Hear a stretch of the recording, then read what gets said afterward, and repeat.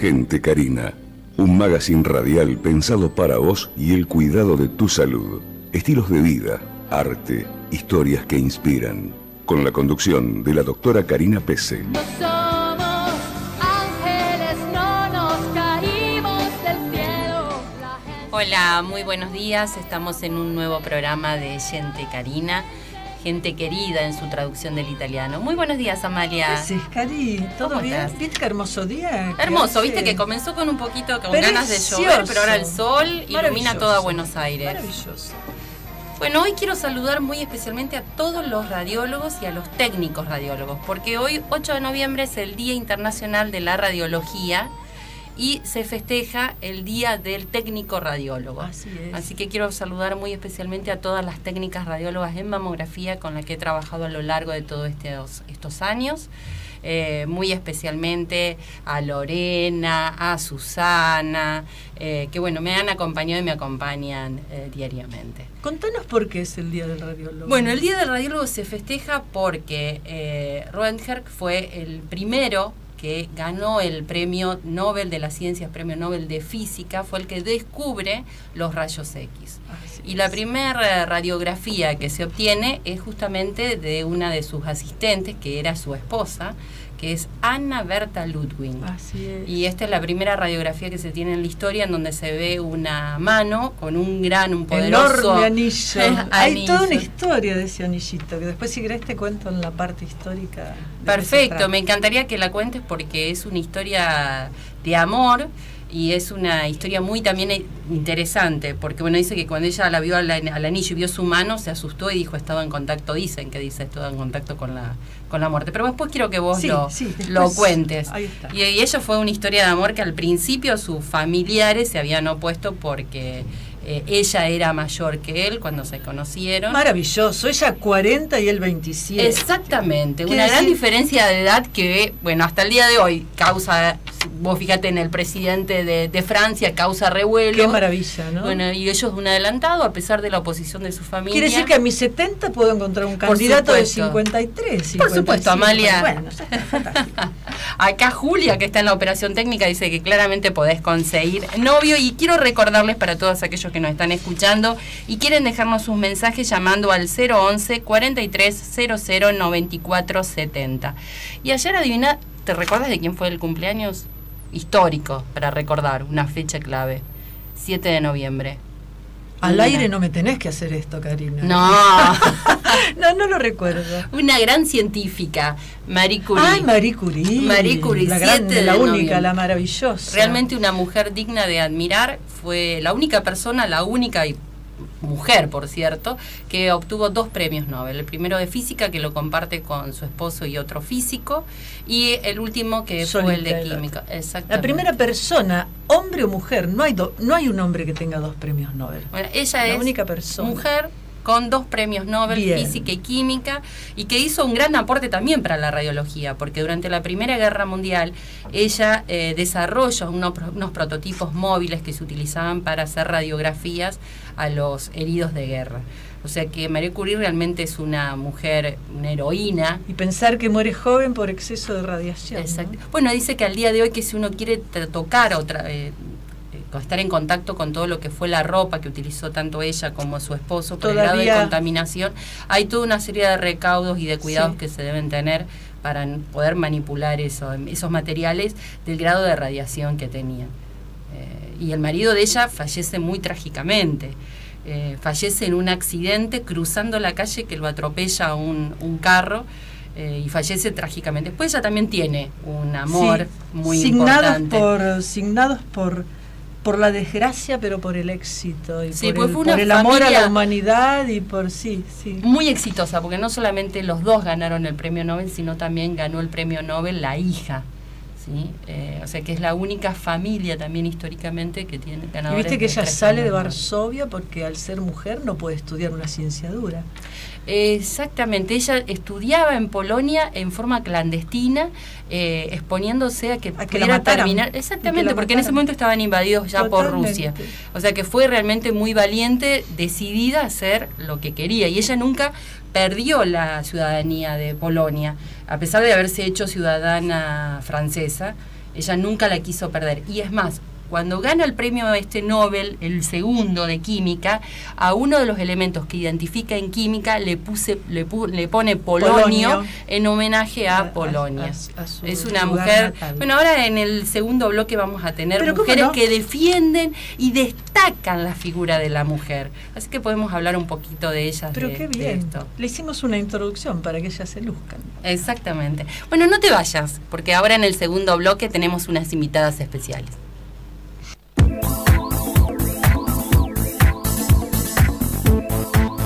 Dr. Williams Bucret, especialista en cirugía plástica, estética y reparadora. Creador de lipoescultura láser tridimensional y lifting facial mini invasivo láser. Miembro internacional de la Sociedad Americana de Cirugía Plástica, Sociedad Internacional, IPRAS. Sociedad Internacional IPRAS Iberoamericana. Sociedad Internacional Iberoamericana y Argentina, SACPER. Consultorio, Avenida Alicia Moró de Justo, 1848, segundo piso 6, Puerto Madero. Turnos al 011-4314-1710. Horarios, lunes a viernes de 13 a 21. Sitios, web, drbucret.com.ar, lipolaser3d.com.ar, milfacelift.com.ar. Gente Karina.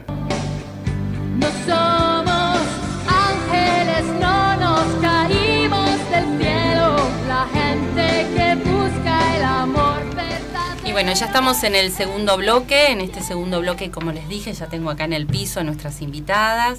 Estamos con la licenciada Ana Álvarez. Ella es la responsable de Premios Mujeres Solidarias de Fundación Avon y de la campaña Alza la voz contra la violencia de género. Y con la licenciada Belén Oromi, que es la responsable de comunicaciones de Fundación Avon. Bienvenidas. Gracias, gracias, Cari. Cari. Amalia, las dos por recibirnos. Muchas No, gracias. muchísimas Gracias, gracias. chicas, por Un placer estar acá. Justamente en el primer bloque estábamos hablando de una gran mujer de la historia que fue María Curie y me encanta que Fundación Avon tenga un premio en donde destaca la figura y da esa visibilidad a las mujeres solidarias que tiene la Argentina. Sí, la verdad que es, es uno de los programas más lindos. Yo siempre me pelo en la fundación. Digo, me tocó la parte más linda. y para mí que soy de formación trabajadora social, que en general vengo y decidí hacer de mi vida, eh, que en mi vida la- la- lo social tenga preponderancia, poder tener a cargo este proyecto es, es de lo más lindo. Es un premio que busca descubrir y dar visibilidad a todas las mujeres que en el país hacen algo por generar un cambio, tanto que se usa hoy la palabra no cambio, por generar un cambio en su comunidad, en distintos planos, el social, en la salud, en la cultura. Dicen, bueno, algo me parece que tiene que cambiar y yo en eso me voy a involucrar. Y traccionan proyectos, a veces que son incipientes, que recién arrancan, otros que ya vienen hace tiempo y necesitan para consolidarse un empujón. Bueno, el premio viene a eso, a quien arranca a ayudarlo a terminar, a ayudarlo a terminar de arrancar. A quien Buenísimo. están dando, darle el empujón y poder ayudarlo a, a- a dar un salto cualitativo. Entonces tiene la capacidad de que a cada mujer que se postula, en caso de que gane, pueda cumplir su proyecto como un traje a medida. Y eso es lo que hacen. Y aunque no ganen el premio principal, también ganan. Sí, sí. A ver, ganan tres mujeres. Las tres ganan un mismo incentivo económico que este año fue de 100 mil pesos para Un cada buen una. incentivo. Buenísimo. Pero hay otras siete mujeres que también llegaron ahí, estuvieron muy cerquita y buscamos darles visibilidad. ¿Qué pasa? A las 10 les firmamos un corto documental. Entendemos que hoy la comunicación pasa mucho por la imagen y por lo que uno puede contar en los teléfonos, en la computadora, en la televisión. Entonces a veces producir un video donde uno pueda contar lo que, lo que hace en buena calidad, con un mensaje claro, es un premio también. Y las 10 reciben ese premio, así como todo nuestro impulso para que ustedes, todos los medios, todos las conozcan. Perfecto, conozcan a cada sí. una, las que ganaron, las que no ganaron y las que quedaron postuladas también las tenemos presentes. Entonces, cada vez que hay una búsqueda de nuevos proyectos, escuchamos y vinculamos, ay, ¿te acordás de la postulada que nos había dicho? que ¿Por qué no la llamamos? Es decir, es una red que busca que estas mujeres se encuentren y puedan hacer que sus proyectos caminen. No, no tiene que ver tanto con el éxito de quién gana, quién no, sino con que se genere una comunidad de mujeres. Sí, exacto, ganan todas. ¿Y cómo surgió este premio? Porque hace 10 años que lo viene entregando. Hace 10 años, sí. En Avon se decidió empezar a, a destacar a las mujeres. Tuvo distintos nombres, Belu, corregime. Sí. eh, las mujeres del mañana. Em- empezó a tener como, como varias etapas y se fue complejizando. También nos fuimos modernizando en, en cómo se tenían que presentar. Antes mandaban el proyecto escrito, por correo, algunos llegaban, otros en el camino iban quedando. Imagínate con los papeles de la organización, y tener una organización al día implica un montón de papeles que cuando les pedías, claro, entre que se lo pedías y te llegaba, bueno, hoy... Porque todo- la convocatoria va, Sí. creo que ya lo dijo Ani, ¿no? Pero es- está bueno aclarar que es una convocatoria nacional, así que invitamos a, a mujeres de todo el país eh, a postularse. Antes era, como decía Ani, a través del correo, un proceso más analógico, y estos últimos años lo hicimos digital eh, para que hoy todo el mundo tiene al alcance tal vez una computadora y tratamos de simplificarlo lo mayor posible para que, bueno, para que cada vez sean más las mujeres que puedan acceder eh, a la posibilidad de, de participar del premio. Y, y esto de, de- de lo digital uno dice, bueno, pero hay mucha gente que tal vez no tiene la tecnología. Y Me, me voy a una de las ganadoras de este año, eh, Pastora Sonia Cruz. Ella es de Santa Ana, Valle Grande, en Jujuy, 640 habitantes. ¿Cómo se enteró Pastora? Por la radio sanitaria. Ah, no. La radio sanitaria, hay una red de municipios que pasa informaciones que pueden llegar a ser interesantes para las comunidades. Me acuerdo de recibir un llamado en la oficina preguntándome si la postulación ya cerraba o se extendía, porque había comunidades que no habían llegado todavía a bajar. Yo dije, ¿a bajar de dónde? Claro, cuando me llegan las postulaciones, habían incentivado a que las comunidades se inscriban, las mujeres de las comunidades, y fue una de las ganadoras. Qué Entonces, maravilla. la tecnología nos va acercando. A veces nos parece que para el que está más lejos no llega, pero se están tejiendo muchas redes donde facilita muchísimo. Imagínense que si cada cosa que nos tenían que enviar de Santa Ana era por correo, No llegaba, no nunca. llegaban nunca a postularse. En cambio, la existencia de redes, lo digital, la parte humana, porque también tiene que estar esa parte que comprende. Imagínense todo el proceso, era pedíamos algo, tal vez tardaba tres días, subían, pedían la información, venía el mail. Pero ver la pastora ese día recibiendo su premio y hoy sabiendo que las repercusiones la están llamando de todos lados, porque lo que queremos es que la sigan ayudando. Claro, no porque termine. el sueño de Pastora es muy lindo, de Sí. unos hornos ecológicos, ¿no? Ellas cocinan con horno de barro. En el horno de barro donde cocinamos ponemos la leña y la comida. Eso hace que la leña tenga que ser muy buena para no contaminar Claro, el agarra el gusto. Seis horas caminan de ida y seis horas de vuelta para buscar la leña. Dos veces por semana las mujeres de la comunidad. ¿Qué hace el horno ecológico? Que todo sea una combustión más, es decir, se puede usar cualquier cosa para quemar, porque tiene doble, por un lugar uno quema y por otro lado uno calienta, entonces no se mezclan los olores.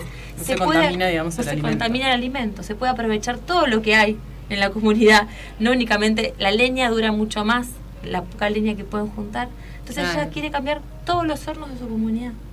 No el de ella, el de todos. Es decir, podemos cocinar, podemos usar nuestro tiempo para otra cosa. Ella promueve mucho que las mujeres de su comunidad y los niños y niñas estudien. Logró que el secundario llegue, al- llegue a la comunidad. Entonces, son historias que tal vez el horno es lo que vemos.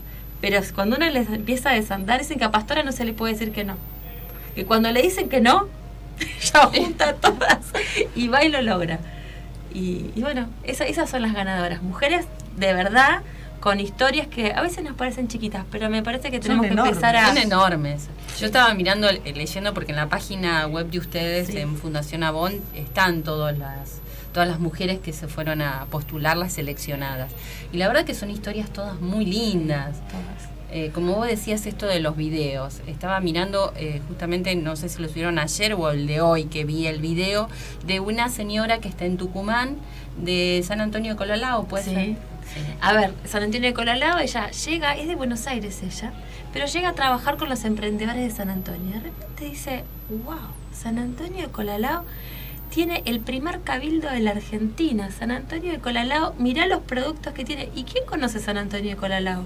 Productos artesanales, Ah, ¿no? productos Que- artesanales. Que, que- que Nadie. trabaja la gente. Gente maravillosa. ¿Quién no conoce a nadie? Entonces se propuso armar una red de emprendedores para promover el turismo Claro. y la producción. Y que San Pedro de Colalao, como cuando uno dice Tafí del Valle, empieza a formar parte de la ruta turística. Entonces, son proyectos que, Muy lindos. que trascienden a la mujer. Sí. Y que transforman ra- la realidad de la comunidad, ¿no? Porque. Claro, tiene un este impacto positivo exacto. importante, que significa Cambia la vida de las personas que, que, exacto, que están ahí. Así No, es, que. es hermoso el proyecto de Paola, es, es muy lindo. Una vez esas imágenes y ve, la- ve, ve- ve las manos. Es decir, a mí me llama la lo atención que de ese trabajan con los cueros, con los bueno, cueros, con los alimentos. las manos de, de esas mujeres, de esos hombres que lo que necesitaban era alguien que cosa. Y me dice que después del premio se generó tal revolución. Me dice que no importó no ganar, porque lo que hizo fue darnos a pensar que podíamos. Y como podíamos, hay que animarse a otras cosas. Qué linda tarea, chicas. Ustedes. Yo les dije. Esa es la verdad que Ana es hermosa, tenés razón. Renuncio a esta radio. Bueno, ustedes tienen también la, la virtud de poder dar visibilidad a todas estas cosas, ¿no? Y lo que buscamos con la fundación justamente, más allá de la asignación económica que le damos a las tres ganadoras, a todo el resto con los videos que, que contaba Ani, justamente es darles visibilidad.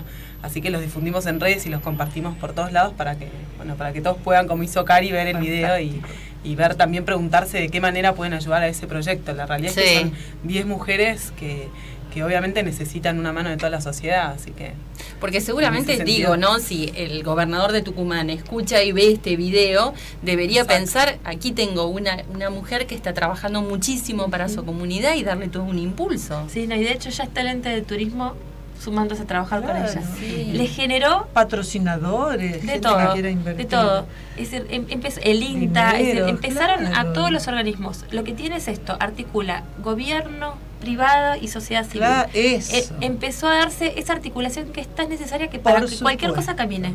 Empezar a decir, bueno, es Totalmente. responsabilidad de tal, de tal. Obviamente que cada uno tiene responsabilidades indelegables. Pero eso no quita que empecemos a buscar puntos de acuerdo donde no llegamos entre todos para poder resolver un problema como es que las comunidades sobrevivan, porque lo que termina pasando con estas comunidades Claro, que desaparecen. que desaparecen. Los chicos se van a estudiar a las grandes ciudades y no regresan. desaparecen y hay oportunidades de que estas, eh, estas ciudades, estos pueblos puedan empezar a construir una identidad más, más moderna. Porque Sí. lo que- a veces uno tiene miedo a esa palabra moderna. Y la moderna tal vez es organizarse. No, que llegue el progreso. Exactamente. Porque cuando hay progreso, cambia lo, lo urbano y cambia la calidad de vida. Sí. Y entonces, bueno, sin progreso no hay camino andado, ¿no? Sí, Sí. claro, que llegue el progreso. ¿Y cómo conforman la comisión eh, que va a elegir el jurado? Porque estaba mirando el listado de quienes conformaron, la verdad, todas personas notables. Sí, la verdad que es un jurado que, que viene trabajando con fundación. Lo que, lo que venimos haciendo es que cada vez que identificamos un, un referente o una referente que se identifica con las causas de la fundación, voy a hacer algo que no está en libreto, después te digo, eh, que, que no, que se identifica con la fundación, la, o le invitamos a participar, Sí. porque le decimos, vos entendés cómo nosotras miramos, qué es lo que buscamos y a sumarlos. Y así fueron llegando Bernardo Klisberg, que la verdad que trabajar con Bernardo Klisberg es otro premio, porque Claro, ha- porque uno aprende un montón de todas estas personas. o mismo con Ada Rico, que ella está a cargo de la Casa del Encuentro, con ellas venimos llevando adelante la cruzada Alza la Voz. Digo, con cada una de las personas, o con la gente del, de PNUD, el Programa de Naciones Unidas para el Desarrollo, se van sentando en la mesa personas eh, que dejan tiempo importante de lado para dedicarlo a mirar a estas mujeres. Pero cuando ven el capital social humano, dicen, yo no perdí tiempo.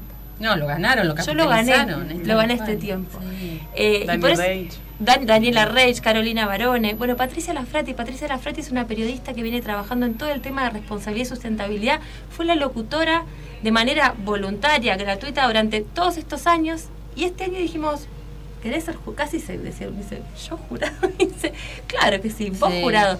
Y se va armando como este colectivo de, de- de personas que nos acompañan. Y en eso de personas que nos acompañan, podés empezar a pensar para el año que viene vos qué vas a hacer. Si vas a ser jurado, no vas a ser jurado, vos tenés que elegirlo. Ay, en serio. Mil gracias. Buenísimo. Tiene la costumbre de hacerlo porque Al aire, al a aire. periodista se lo habías dicho en el verano. Yo te estaba escuchando cuando se lo ofrecí. Y le decía, Bien, Belu- y lo veníamos charlando del equipo y le digo, Karina, digo, pero déjame ver cómo lo hago, le digo, porque pero tiene que, pero vos me hiciste la pregunta, digo, también tiene que ver con eso, con nosotros necesitamos que las personas que nos acompañan en el proyecto entiendan la responsabilidad Claro. que le ¿Qué ponemos. No nos da lo mismo y la transparencia. Cuando cada jurado recibe el proyecto, yo le digo, menos mal que lo vas a evaluar vos, porque yo no podría. Yo leo todos los proyectos que llegan, todos.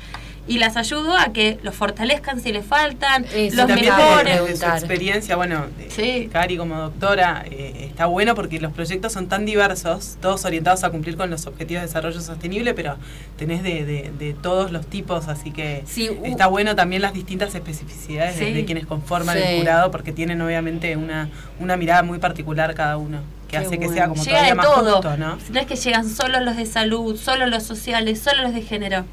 No. Todo. Se va haciendo el Dream Team, lo mejor de, todos, porque las miradas se complementan. Y eso Eso es lo importante. Y te digo, en, es tan lindo el trabajo del jurado, porque el jurado recibe los proyectos, los lee y cuando llega comparte. Comparte, discute, pero no es una discusión de yo quiero los míos. Es una apuesta en común. Es ¿no? una No, apuesta en exacto. común. Cuando escuchan a la otra jurada dicen, "No, a mí me gustó el proyecto que a vos te tocó. Eh, y tal vez va a votar a ese, y no el que vino abrazado a... No nos abrazamos, sino que tratamos de acompañar y de generar oportunidades. Y el premio es eso. Tanto el momento que se junta el jurado, el momento de la postulación, tienen que ser todos momentos donde respetemos a la persona y se sienta parte de un proyecto que gane o no gane, valió la pena. Y es así que al evento de premiación vienen las que no ganaron. Vos decís, ¿cómo? Porque No, vienen a conocer No, pero sí, como eh, no, y, a, y a sí. celebrar, porque entienden que hoy le tocó a una, mañana le toca a otra, y tal vez se encuentran con alguien ese día, y yo las miro y le digo, ustedes dos júntense. Me miran, ¿por qué? Porque hacen cosas parecidas, y, y de ahí se generó ese encuentro. Entonces, el premio es eso, junta mujeres, junta proyectos, hombres y mujeres, porque Sí. también en- dentro de los equipos son mixtos, pero nos empieza a, a mostrar que lo que vemos como sueño puede ser posible, en tanto y cuanto empecemos a mirar con otra, con a veces esto de mirar con el corazón parece, parece una frase, pero a mirar realmente viendo cuál es la necesidad de la otra persona, no la que yo creo, sino la que la otra persona me está planteando. Escuchar al otro. Sí, sí. Que a veces nos olvidamos, siempre empezamos a hablar, hablar, hablar y no estamos escuchando abiertos a, a lo que el otro, la necesidad que tiene el otro. Y si alguien está en este momento, no sé, está con un proyecto muy lindo, pero que tiene dificultad, porque no, todo el mundo tiene ese, po- esa poder, ese poder de la narración y de poder contar eh, bien el proyecto. Puede levantar el teléfono, te puede llamar, te puede pedir un poco de asesoramiento para poder Somos hacerlo. las humanas que atendemos el teléfono, los correos, las redes sociales. Eh, a veces ah, nos llegan, quiero hacer tal proyecto, ¿me pueden ayudar? Bueno, les digo, bueno, tenés que postularte en marzo sobre la postulación, pero empecemos a hablar antes. A veces me llaman y me dicen, yo tengo tal proyecto, ¿será para postularse? Obviamente que sí. La cuestión es cómo a veces uno lo cuenta. Y, y vamos haciendo ese proceso en etapas. Bueno, contanos a ver cuáles son los objetivos. De hecho, para el año que viene estamos trabajando en todo un proceso incluso de simplificación de la postulación. Qué Todavía bueno. aún más. Para después darle más tiempo al trabajo uno a uno que nosotras llevamos adelante. Porque es ahí donde a veces las ayudamos a que lo, lo puedan pulir todavía mucho más. A veces no nos luce como lo escribimos y nos luce más como lo decimos. También le incorporamos la parte audiovisual que con su teléfono, si no les, no les gusta tanto como quedó escrito, nos manden un video y lo cuenten. Eh, y, y complementar, que el jurado tenga las dos cosas, ¿no? Tenga escrito, tenga video. Aparte está bueno esto de tener el video, de tener la, la, la- la- la visualización palpable del otro, porque a veces el, el papel puede resultar como algo tan lejano y cuando vos ves una imagen, cuando ves que te la está contando a la historia, como que te llega mucho más No te- al corazón, ¿no? Te vuelvo a repetir, vi los, vi los 100 videos, leí los 100 proyectos y había veces que Qué estaba... difícil, ¿no? 100, wow. Qué Estaba con difícil. lo- me ponía los auriculares y tienen que ver esto, tienen que ver esto, esta puede ganar, esta señora puede ganar, pero porque claro, y yo miraba el proyecto y tal vez le faltaba. Entonces en mi devolución era, bueno, fíjate en tu presupuesto, lo puedes mejorar así, eh, en, tus objetivos, fíjate de darle claridad a esta parte, porque cuando lo hablas es bien claro, cuando lo escribís se te mezcla un poquito, bueno, ese trabajo de que cuando termina, si no ganan, ese proyecto lo agarran y van a otro lado a pedir ayuda. Cuando te preguntan qué necesitas, Sabes cómo presentar. sabes cómo presentarlo. Entonces, va más allá del premio Mujeres Solidarias, va con a, a las que les sirve mucho es a las que lo cuentan por primera vez. Las chicas de pelucas, el año pasado. Pero se hicieron re famosas las chicas de peluca. Ahora todo el mundo las chicas de pelucas convoca, ¿a vos te ayudar". parece que yo me puedo postular? Salieron, yo le estaba cortando el pelo a mi hijo. Y veo que la peluquera dice, ¿no querés donar el pelo? Le digo, ¿a quién? Le digo yo. Y me empieza a contar, le digo, decirle que se postule en el premio. ¿Te parece? Bueno, me consigo un teléfono, la llamé. ¿Te parece? Me dice. Se postularon. Ay, cuando vi que el jurado las votó. Yo no digo, ¿y ahora cómo la llamo? Para decirles que lo que salió de un corte de pelo había sido tan inspirador. Y la verdad que para ellas fue esto, el impulso, porque la energía la tienen, digo, son, contagian. Para mí es solidaridad 360 pelucas. Pelucas es dar lo que tenés, no lo que te sobra. Tal cual. Esa es la solidaridad. Y bueno, surgió una idea y las fui ayudando a que vayan escribiéndolo y al jurado que le tocó le gustó Me encantó el proyecto. y todo el jurado lo votó. Y uno dice, bueno, hay que llegar a esas mujeres que hoy piensan que lo que hacen es chiquito y que puedan ver que es grande y que eso chiquito inspira a otras. Y esa es la cadena de valor que hay que hacer, la cadena de solidaridad. De dar lo que tenemos, a veces es el tiempo, a veces es un bien material, a veces es nuestro propio pelo, pero empezar a darlo sabiendo que eso es lo que cambia, ¿no? Qué bueno, y hay cada vez más, o sea, hay cada vez más mujeres y cada vez más chiquititas que veo que donan el, el cabello. para Mi hija, mi hija se lo cortó y lo donó. Después de todo esto se lo dejó crecer. Fuimos un día y se lo cortó. Dijo, bueno, para hacer pelucas y ahora está dejándolo crecer de nuevo. Ese, es empezar a compartir algo que uno no se da cuenta, ¿no? No, no, no toma la dimensión de lo que es para una mujer. Sí, Amelie. La dimensión, de- las estoy escuchando. La historia está en no hacer beneficencia, sino hacer filantropía. Y esto es solidaridad, es filantropía, que no es lo mismo que beneficencia. No, no, no es, no es lo mismo, es, es efectivamente hacerme cargo del resultado que estoy Tal cual. buscando, porque si no es dar porque me siento bien de dar. Mira cuando alguien te dice, sí, yo di, ¿sabes a dónde fue? ¿Sabes qué pasó? ¿Sabes si efectivamente era lo que necesitaban? Y a veces hacernos esas preguntas nos incomoda, pero yo digo que a veces somos solidarios, los argentinos nos decimos solidarios, pero nos falta todavía profundizar en lo que es ser solidario, nos falta profundizar en dar lo que la otra persona necesita y lo que tengo, no lo que me sobra. Ay, me encanta eso. Porque lo que tengo, no lo que me no lo sobra. que me sobra. Entonces, ¿qué es lo que a mí me es decir, uno da lo que lo que la otra persona necesita, que tal vez es lo que mismo que yo tengo. Es compartir. No, lo que ayude a generar también. También. Que el otro le ayude a generar algo y no que satisfaga una necesidad primaria o secundaria, O inmediata personal. y nada más. Y hablando de valores, vos que estás en parte de comunicación, en la entrega del premio sé que hubo una puesta en escena resaltando los valores. Y sí, bueno, la tuvimos, a- hablamos de, de cuatro valores principalmente, que eran la perseverancia, el coraje, la pasión y la solidaridad. Así que bueno, la tuvimos a Nati Oreiro, que nos, nos habló sobre solidaridad y qué significa para ella la solidaridad. La verdad que Nati, una, una genia súper solidaria en, en- en destinarnos su tiempo, porque sabemos que, como mismo dice ella, ¿no? cuando, cuando ella tal vez nos da un mensaje, la escuchamos, por, obviamente por ser alguien de, de años de trayectoria en televisión y en medios y, y demás, eh, tiene como un poder y una inspiración enorme, así que bueno, eh, ella nos habló de solidaridad, después Lala Pasquinelli nos habló de perseverancia, eh, bueno, lo, eh, ay, eh, Silvia Lancetti nos habló del coraje. nos habló de, de coraje, Silvia es una referente de violencia de género en Moreno que tiene una historia inspiradora y nos parecía que las mujeres que tenían que hablar de los varones de los valores tenían que ser estas mujeres esto vuelve a lo mismo Sí. que te decía con el jurado que, que se encuentran con nosotros que comparten esos valores y que queremos que sean las voceras Bueno, Silvia es madre de familia, tiene seis hijos, eh, trabajó en Avon y hoy por hoy trabaja con mujeres víctimas de violencia. Así que si hay algo que no le, no le faltaba en su vida como para poder transmitir es coraje. Eh, y bueno, y después, bueno, Jime que de, de Pelucas que nos habló de, de la pasión. Y es como decía recién Ani, ¿no? Si hay algo que, que tienen las chicas de Pelucas es pasión Pasión. por lo que hacen. Eh, así que hizo un- una muy linda, un muy lindo show o stand-up de, de lo que es la pasión, lo que significa para ella y cómo la pasión fue como el principal motor para que hoy estén en donde están con pelucas, como hablábamos recién, ¿no? Dando un, un servicio enorme a la comunidad y ayudando a un montón de mujeres. Eh, pero bueno, la pasión como su motor eh, fundamental para, para lograr lo que, lo que logró. Eh, así que Sí, buscábamos inspirar. Ese día también. queríamos empezar de una manera distinta. En general una buena premiación, ganó, perdió. Y en este caso no queríamos hablar ni de ganar ni de perder, sino de inspiración. Desde que te sentás hasta que te vas. Me dice una persona, me fui y quería armar un ONG. Me, dice, me fui pensando qué es lo que voy a hacer yo. Y es eso, el Qué premio bueno. interpela desde el día, desde todo el tiempo, no para. Ya entregamos el premio y ya estamos trabajando en el del año Para, que el- viene. para la convocatoria de marzo Sí. de Hablé 2016. en marzo, exacto. No hay que, no hay que parar. Decir, no, no se toma vacaciones la solidaridad. La necesidad tampoco se toma vacaciones. Entonces, es constante. Buenísimo, chicas. Qué linda es toda esta historia.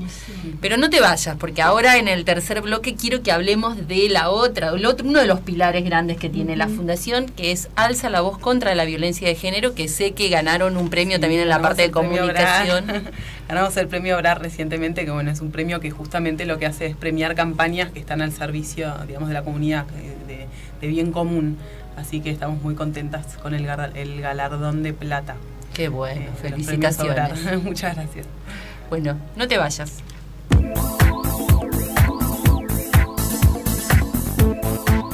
Dr. Williams Bucret, especialista en cirugía plástica, estética y reparadora. Creador de lipoescultura láser tridimensional y lifting facial mini invasivo láser. Miembro internacional de la Sociedad Americana de Cirugía Plástica, Sociedad Internacional. IPRAS. Sociedad Internacional IPRAS Iberoamericana. Sociedad Internacional Iberoamericana y Argentina, SACPER. Consultorio, Avenida Alicia Moró de Justo, 1848, segundo piso 6, Puerto Madero. Turnos al 011-4314-1710. Horarios, lunes a viernes de 13 a 21. Sitios, web, drbucret.com.ar, lipolaser3d.com.ar, milfacelift.com.ar. Gente Karina.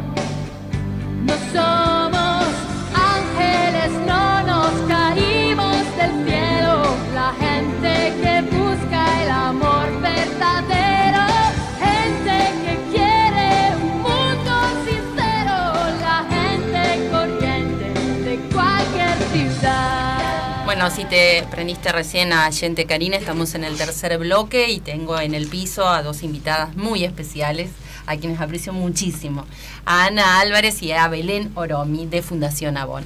Y queríamos hablar ahora de uno de los pilares más importantes, porque todos son importantes, pero este es muy importante porque ayuda a muchas mujeres a que tomen conciencia de lo que es la violencia y que puedan alzar la voz y puedan decir basta, puedan cortar ese la- lazo a veces patológico que no pueden cortar. Sí, bueno, Alza la Voz es un programa que Avon lleva adelante en todo el mundo. Desde el año 2004 decidió como empresa, como corporación, decir, bueno, vamos a empezar a trabajar en este tema. Y en el 2008 en Argentina se empezó a trabajar.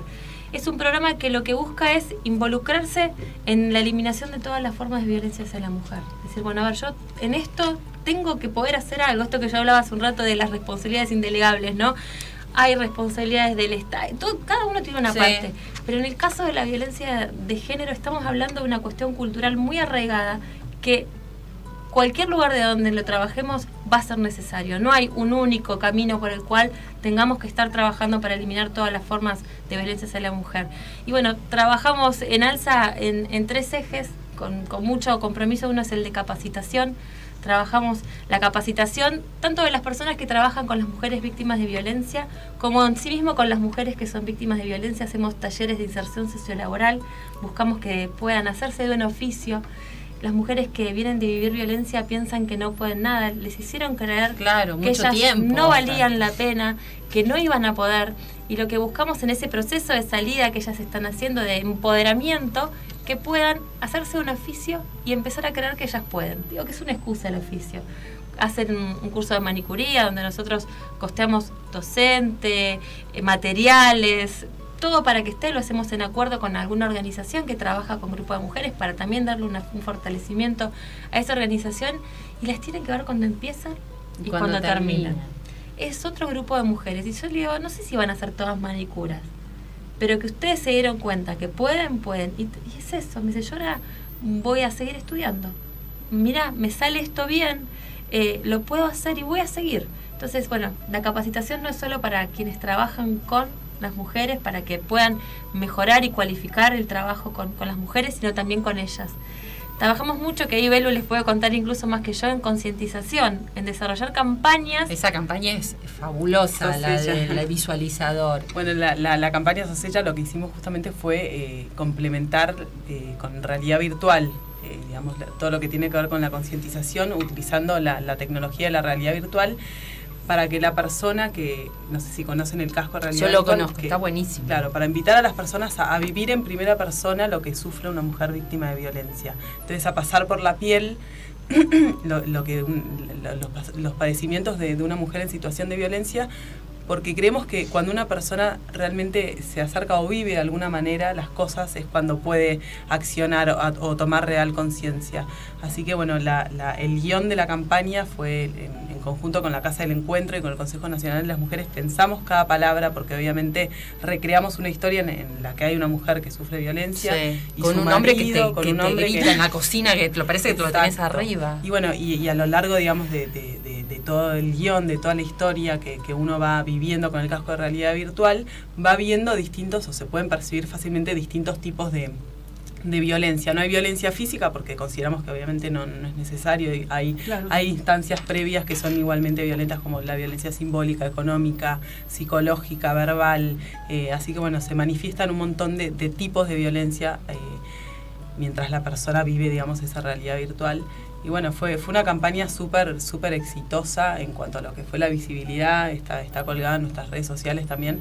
Y, y hoy por hoy es, también una herramienta de capacitación de, de muchos sectores, ¿no? de, personas eh, comunes y también de, todos los, co- como decía Ani, que, que- que trabajamos con la gente que interviene en la ruta de, de- de la mujer víctima. Entonces, eh, llevamos la, la- la campaña a jueces, a fiscales, a Estuvieron en Tucumán. Estuvimos, Estuvimos en Tucumán con la campaña, bueno, estuvimos, estuvimos en Paraná con, con, con los bomberos. con los bomberos, eh, en las universidades, porque en las universidades en donde se forman, en, en- ya sea en recursos humanos o con abogados, eh, es una campaña que vale Y, la pena que y todo el mundo la- la y pueda Avon no se quedó solo con, con esto de la comunicación, sino que también tomó medidas en su propia empresa Sí. para sus propias mujeres que trabajan bueno, para. en, en esta cuestión de estar trabajando en tema de violencia, nos pasó que teníamos muy claro y te- tuvimos un fuerte posicionamiento de nuestro compromiso con la violencia de género hacia afuera.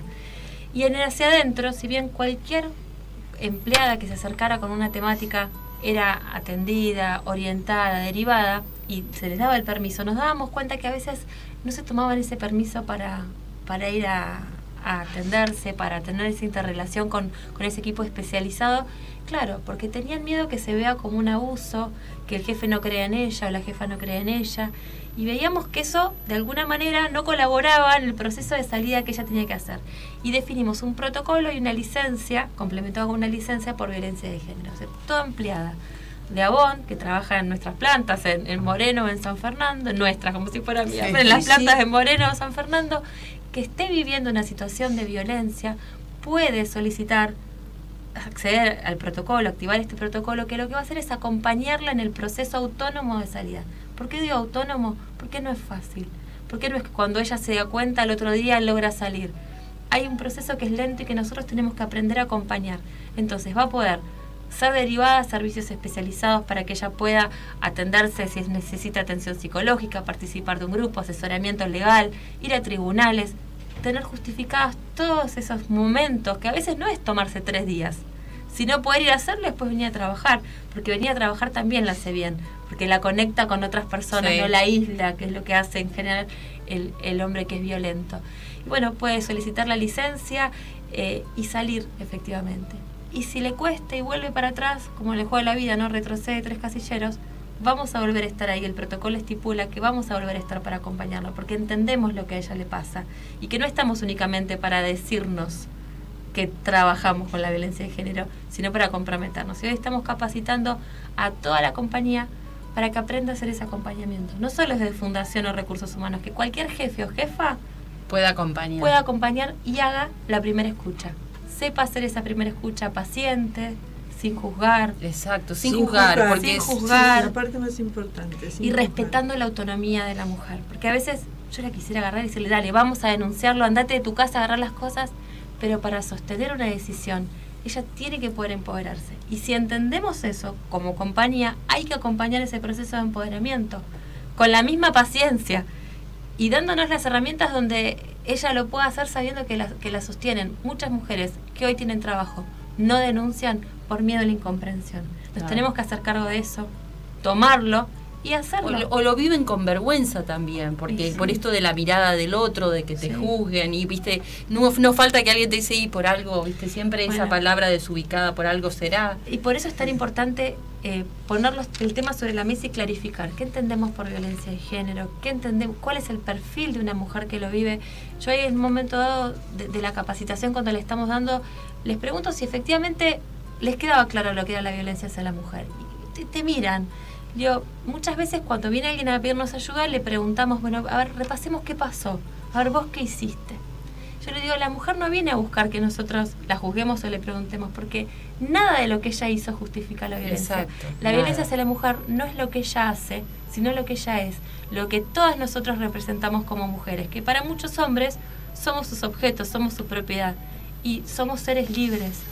Y eso es lo que genera la violencia, no lo que hacemos, no lo que ella dijo, lo que ella pasó. Entonces, a veces cuando entendemos eso, empezamos a mirar de otra manera, mucho más comprensiva. Nos empatizamos, nos damos cuenta que vivimos violencias todas nosotras en otros ámbitos y ahí empezamos a tirar de otra manera el carro, de- en conjunto. No ella, No hay clase social para la violencia. no, no hay clases.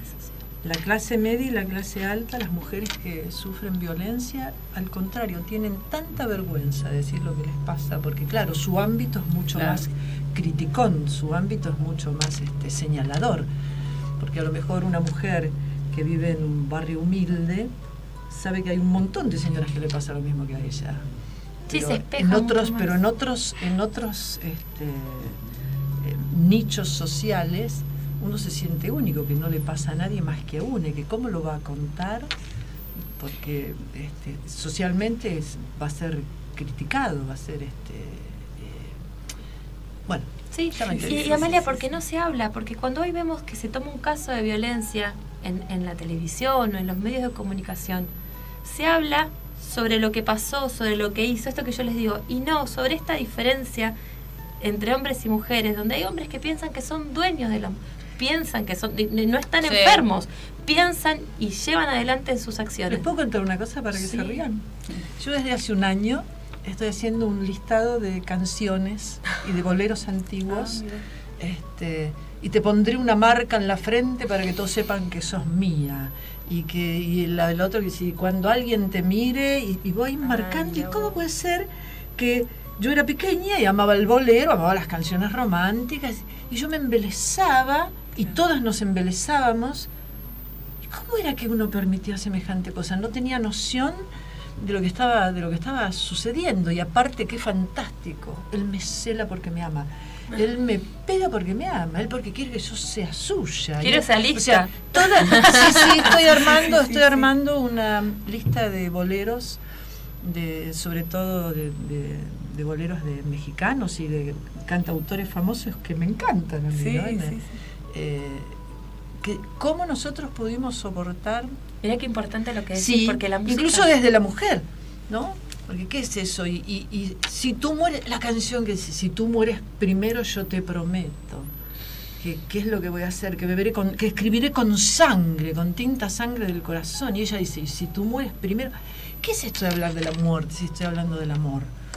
Y de la marca que te voy a poner y que, y que vos sos mía, y que otro- esa cosa de la posesión del objeto de deseo, como si uno fuera un niño de cinco años, que no, no, no te presto el triciclo porque es mío, ¿viste? Pero hoy Eh, está, hoy, hoy la música digo, es reproductora de estereotipos, de, de esto que esto que vos traes viene pasando y de a poco se empieza a hacer A más claro. A mí me pasa que cuando termino de un taller y generalmente pongo música al final y me digo, no van a escuchar un reggaetón nunca más sin Tal cual. pensar qué es lo que dice. Le digo, Claro. disculpen si en algún baile se los por arruino. supuesto. Pero de alguna manera es empezar a pensar cómo los mensajes van teniendo ese lugar que nosotros dejamos que tenga. Tal cual. Entonces, si nosotros empezamos a, a Nosotros como madre que educamos a nuestros Claro, niños. ¿qué Y como padres, ¿no? Padres y las Ma- madres. ¿Qué, qué dejamos, digo, o cómo conversamos? Porque los chicos lo van a seguir escuchando aunque no estemos. Entonces, ¿cómo empezamos a que ellos empiecen a tener también ese oído crítico de qué queremos escuchar? Y los chicos toman. Yo me cuento que, que mi hija Emilia un día sale del colegio toda despeinada, la pollera colgaba, chancle- chancleteaba los zapatos. Yo digo, ay Emilia, le digo, dos minutos en el espejo, mirate, acomodate un poco. Y me dice, mamá, nos costó tanto a las mujeres todo en esta vida. Mirá si me voy a preocupar por cómo estoy vestida. Me muero, qué bonita. Claro, yo le digo, y empezaba ¿de dónde lo escuchaste? Y me dice, y de lo que vemos, mami. Yo miré la historia de las mujeres latinoamericanas, claro, es lo que yo que comparta. Y ella, en base a eso, va a construir su criterio de, de igualdad, de equidad, y creo que ahí tenemos un rol Ahí, clave. es ahí. Eh, es ahí y en esos comentarios que, que de repente yo no choqué de casualidad, porque me quedé diciendo, bueno, efectivamente es lo que quiero con ella, que pueda discutirlo, pero que lo Que pueda... pueda elegir, que que pueda decir, no, esto no quiero. Viste que ahora los chicos Sí. hasta eh, tienen esa gran capacidad de poder elegir la ropa. O sea, cuando uno era chico, te daban esto te pones y esto te pones. Y darle esa libertad hasta en esas pequeñas cosas de poder Sí, sí. elegir. De elegir y decir yo quiero esto, cuando te dicen no, Que te digan, te ¿por qué no? ¿O por qué yo no voy a hacer esto? ¿Por qué las chicas no esto? Empiezan como a decir, pero no es que todos podemos todo. Y claro, y empiezan a desafiar el, los estereotipos, porque el estereotipo es lo que genera esta desigualdad. Y tenemos que empezar a ver cómo lo cambiamos. Se cambia, vuelvo a lo mismo, de arriba para abajo y de abajo para arriba. Es decir, son responsabilidades como personas, como instituciones, digo, las instituciones tienen mucho para hacer, las escuelas, en la división de, de- de deportes para niños y niñas, eh, hay mucho para hacer. Y hay que hablarlo con sinceridad, sin miedo. Los lentes violetas, Sí. Más que miedo, nos amplifican la mirada, no, no nos limitan, nos la multiplican exponencialmente. Y lo que buscamos desde ALSA es eso, eh, generar una conversación que trabaje sobre la eliminación de la violencia, pero que fundamentalmente hable de la necesidad de igualdad de derechos entre hombres y mujeres. Si hay igualdad de derechos, hay menos violencia. Y, y ahí es donde hacemos foco, en, en todo el tiempo. A veces no es que Mm. uno habla directamente sobre la violencia, habla de igualdad. Y es ahí donde tenemos que, que, Que insistir. Sí, insistir, mucho. Insistir, insistir. Sí. Bueno, chicas, me encantó escucharles, escu- escuchar todo lo que nos tienen para contar, pero no quiero que se vayan, porque ahora en el tercer bloque es el, la columna de Amalia. Ay, pero qué. Y Amalia nos tiene siempre unas historias muy lindas. Nos quedamos.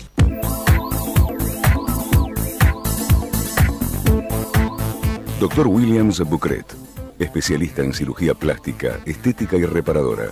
Creador de lipoescultura láser tridimensional y lifting facial mini invasivo láser. Miembro internacional de la Sociedad Americana de Cirugía Plástica, Sociedad Internacional, IPRAS.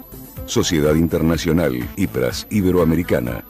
Sociedad Internacional Iberoamericana y Argentina, SACPER.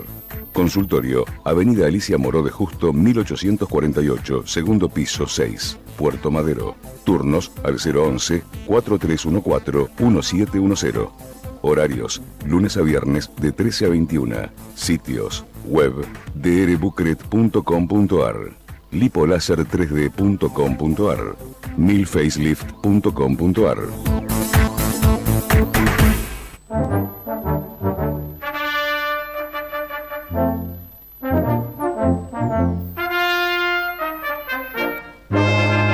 ¿Sabías que? En Gente Carina te contamos sobre la historia de la medicina y del arte en la voz de la licenciada Amalia Frontini, museóloga, egiptóloga e historiadora.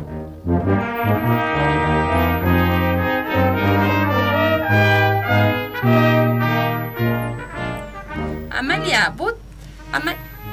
Sí, ya estamos al aire. Yo pensaba, vos pensabas que te ibas a escapar de, contarnos la historia de Ruenger y de los rayos X. No, ¿cómo me voy a escapar? Es una historia...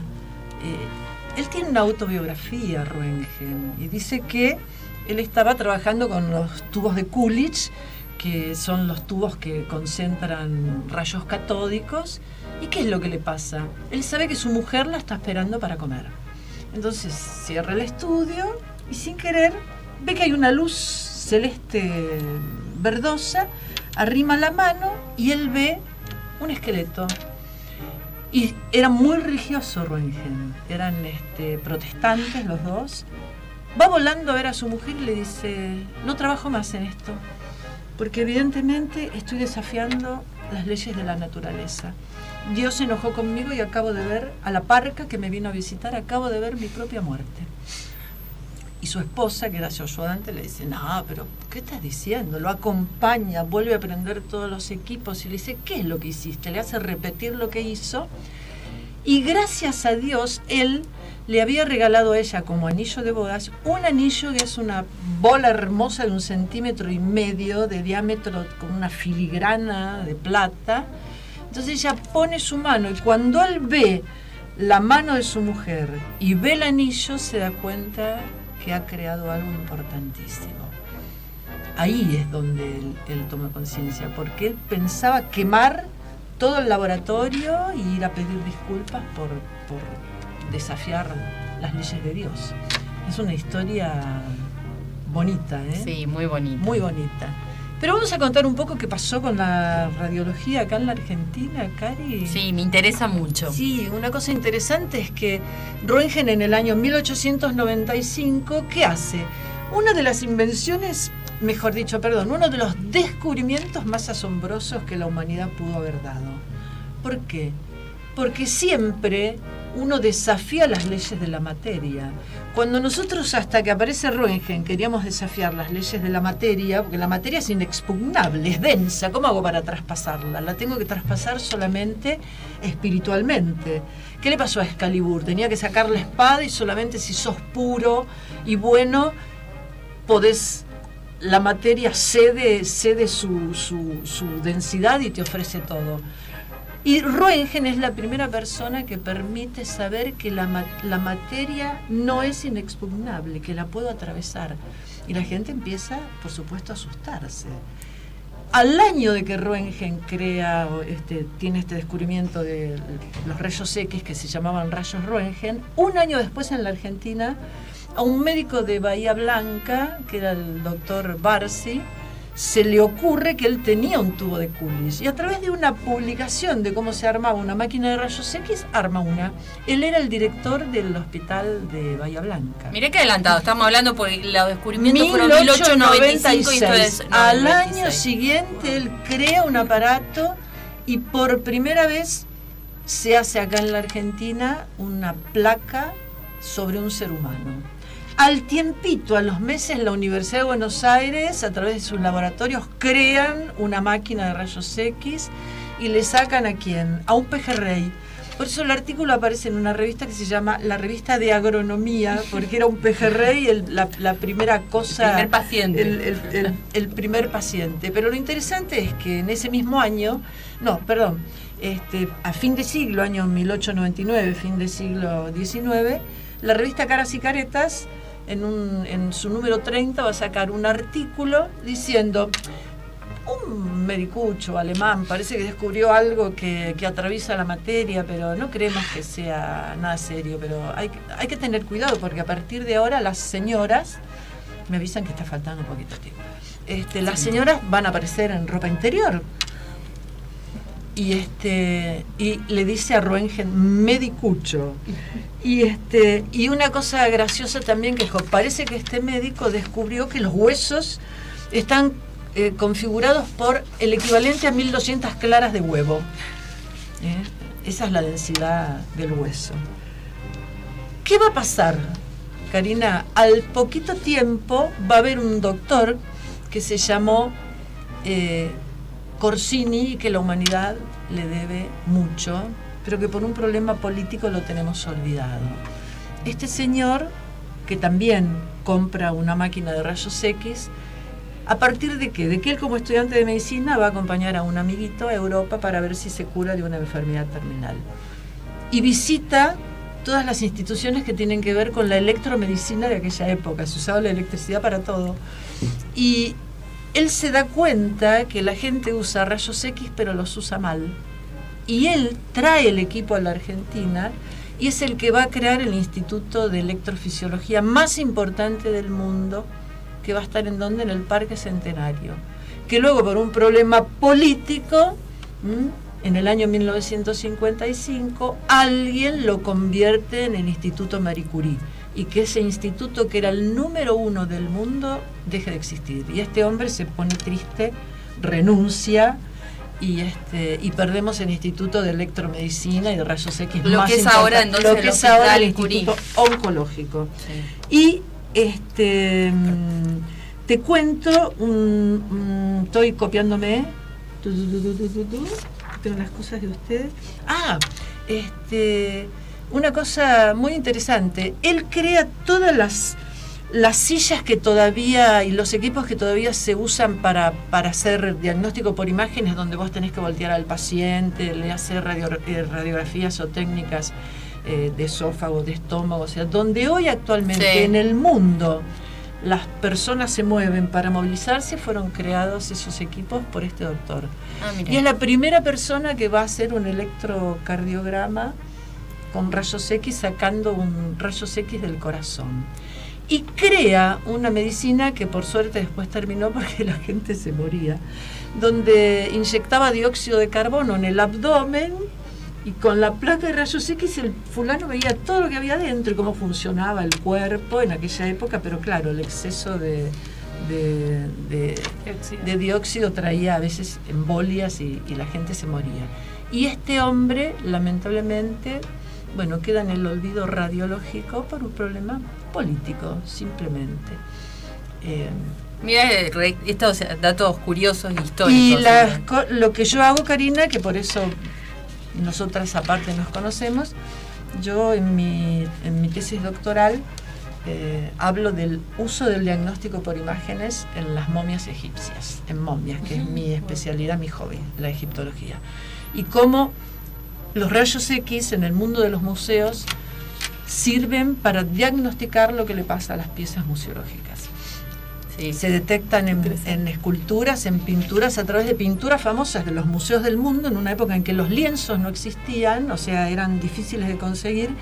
Muchas veces vemos pinturas de Rubens o de pintores famosos, la Pintadas pintura hermosa, sobre- pero por debajo hay otra pintura que como el fulano no tenía un lienzo, usó el mismo otra. y lo cubrió. Y bueno, para saber cómo está ensamblada una escultura de, de madera, de, de mármol, una estatuilla, la cera perdida de metal, este, el- los rayos X nos sirven en el mundo de los museos para otras cosas. Y vos presentaste un trabajo eh, con respecto al estudio de las momias de La Plata, ¿no? Sí, ese casualmente, en las momias de la plata. Bueno, Muy interesante, Amalia, tu aporte. Bueno, chicas, espero que les haya gustado el A programa. ustedes. Gracias por venir, muchísimas, muchísimas Gracias por la La invitación. nueva jurado Ah, la nueva- jurado. del Premio Mujeres Solidarias. Muchísimas gracias, la verdad que un gran honor. Muchísimas, muchísimas gracias. Acá nos está poniendo los aplausos. Una gran emoción. Bueno, eh, quiero despedirme de todos ustedes y no dejen de acompañarnos para el próximo miércoles con un nuevo programa de Gente Karina.